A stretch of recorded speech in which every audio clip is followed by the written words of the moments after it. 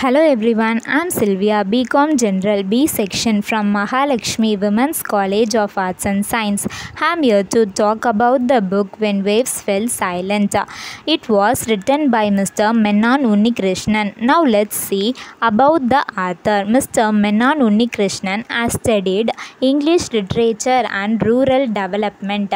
He has worked for three decades in All India Radio often transferring from place to place due to his vocation.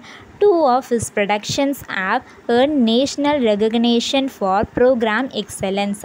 Now let's see what influenced the idea of this book.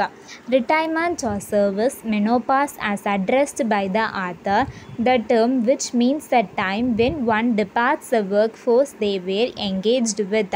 It represents the end of something right, but here the author turned the very symbolism of this word and grabbed it as an inspiration for starting the making of this book.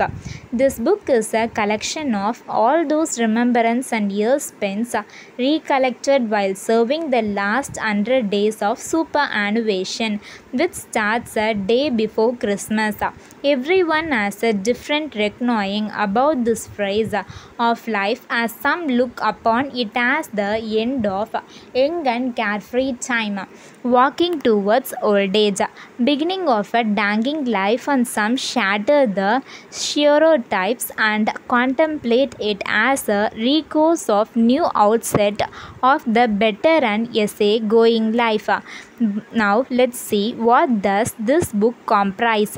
In this book, Mr. Arthur Mr. Menon Unnikrishnan converses about his experience of working in the media industry and what impact it induced on his individuality and customary life. The author is of the personality who believes in as long as we are alive, we are working whether on ourselves or the things we crush. This industry has leaped in 30 years, including changes associated with the working technique in work system, core principles, and many more. The author has disseminated numerous personal experiences of his work life some of which he is proud of, while some are pessimistic. In one instance, he shared how he couldn't completely enjoy any of his holidays without getting troubled with work and work calls.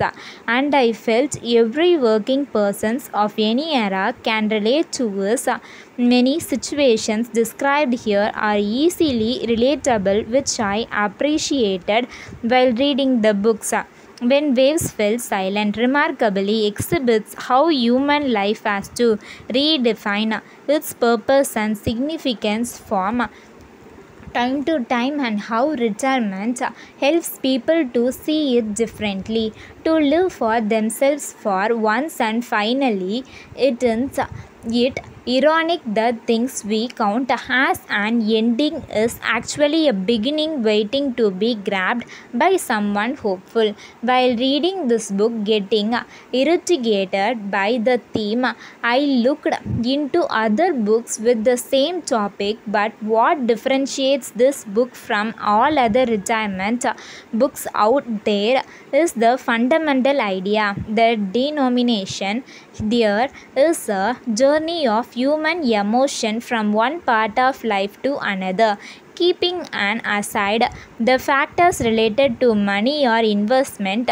It talks about moral sentiments job life home roads that leads to the office the college years regular work the identity one is leaving behind and such little things which one may not pay heed to in haste I recommend this book to this part. Memorial illustrates a mixed relationship between human beliefs along with life's community and how it shapes our journey to the end.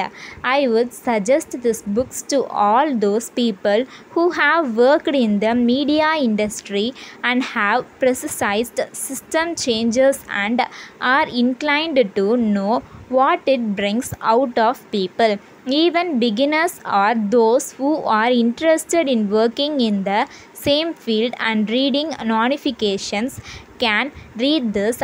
Given their knowledge of vocabulary should be intact as the author has used rich language throughout the book. My conclusive criticisms. The title of the book was initial thing that caught my attention. It felt surreal and real at once. This topic was new and unusual for my taste and i grabbed it as an opportunity to rediscover my liking. I rejoiced to go through day day life of the author and got to know a lot about how things work in this field. If I fell down or stuck at some places, it was because of some over descriptions done, as I am not a fan of slow paced narration.